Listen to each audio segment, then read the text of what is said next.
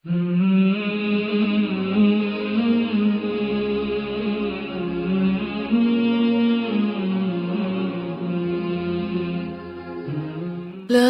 إله إلا الله محمد رسول الله. نحمده ونصلي على رسوله الكريم أما بعد فأعوذ بالله من الشيطان الرجيم. بسم الله الرحمن الرحيم. رب اشرح لي صدري ويسر لي امري واحلل عقدة من لساني يفقهوا قولي. اذا سالك عبادي عني فاني قريب. اجيب دعوة الداعي اذا دعان.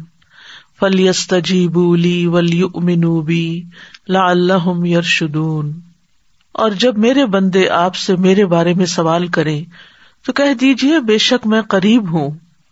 میں پکارنے والے کی پکار کا جواب دیتا ہوں۔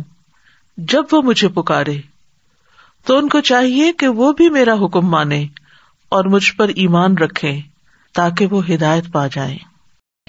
پھر اسی طرح اللہ سبحان و تعالیٰ کی صفات الحی القیوم کا ذکر ہے۔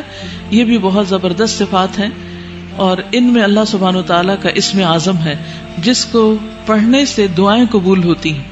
اسی لیے ہم دیکھتے ہیں کہ بدر کے موقع پر جب حالات بہت تنگ تھے تو نبی صلی اللہ علیہ وسلم نے کن اسما کو پکار کر دعا کی تھی؟ یا حیو یا قیوم برحمت کا استغیث۔ حضرت انس کہتے میں نبی صلی اللہ علیہ وسلم کے ساتھ تھا کہ ایک آدمی نے دعا کی اور کہا، یا بدی السماوات، یا حیو یا قیوم، انی اسلو کا اے آسمان کو عدم سے وجود میں لانے والے، اے زندہ، اے قائم رہنے والے، میں تجھ سے سوال کرتا ہوں۔ یعنی میں تجھ سے مانگتا ہوں اپنی ضرورت کی چیز۔ تو آپ نے فرمایا، کیا تمہیں معلوم ہے کہ اس نے کس چیز کے ساتھ دعا کی؟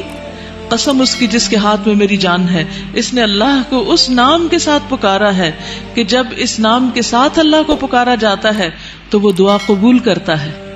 تو آپ چاہتے ہیں کہ آپ کی دعائیں قبول ہو تو یہ تینوں نام اپنے ریمائنڈر میں لکھ لیجیے جب بھی آپ چاہیں کہ آپ کی دعا قبول ہو، تو پہلے اللہ تعالیٰ کو ان ناموں سے پکارے اور پھر دعا مانگے۔ قیامت کے دن جب لوگ جنت میں چلے جائیں گے تو جمعے کے دن اللہ تعالیٰ اعلیٰ الین سے اپنی کرسی پر نزول فرمائیں گے۔ پھر اللہ تعالیٰ کرسی کو نور کے ممبروں سے گھیر دیں گے۔ یعنی کرسی کے ارد گرد کیا ہوں گے؟ نور کے ممبر۔ نبی آئیں گے۔ یہاں تک کہ اس پر بیٹھ جائیں گے۔ نور کے ممبروں پر۔ پھر اللہ تعالیٰ ممبروں کو کرسیوں سے گھیریں گے، صدیق اور شہدا آئیں گے، یہاں تک کہ وہ ان پر بیٹھ جائیں گے۔ پھر اللہ تعالیٰ اپنی کرسی پر چڑھیں گے، اس کے ساتھ شہدا اور صدیق بھی چڑھیں گے۔ یعنی اللہ سبحان تعالیٰ قیامت کے دن اپنے بندوں سے جس طرح ملاقات کریں گے، اس کا ذکر یہاں کیا گیا ہے۔ صحیح ترغیب و ترغیب کی حدیث ہے۔ وہ العلی العظیم، اور وہ بلند ہے، بہت عظیم ہے۔ اور حقیقت یہ ہے کہ اللہ سے بڑی کوئی بھی چیز نہیں۔ اس لیے ہمیں اللہ تعالیٰ کے ناموں کے ساتھ دعا مانگتے ہوئے خصوصاً تسبیح کرنی چاہیے۔ فسبح بسم ربک العظیم قسم اس کی جس کے ہاتھ میں میری جان ہے۔ اس نے اللہ کو اس نام کے ساتھ پکارا ہے کہ جب اس نام کے ساتھ اللہ کو پکارا جاتا ہے تو وہ دعا قبول کرتا ہے۔ تو آپ چاہتے ہیں کہ آپ کی دعائیں قبول ہو تو یہ تینوں نام اپنے ریمائنڈر میں لکھ لیجیے جب بھی آپ چاہیں کہ آپ کی دعا قبول ہو، تو پہلے اللہ تعالیٰ کو ان ناموں سے پکارے اور پھر دعا مانگے یا حیو یا قیوم برحمت کا استغیث۔ یا حیو یا قیوم برحمت کا استغیث۔ یا حیو یا قیوم برحمت کا استغیث۔ یا حیو یا قیوم برحمت کا استغیث۔ واخر دعوانا ان الحمد للہ رب العالمین.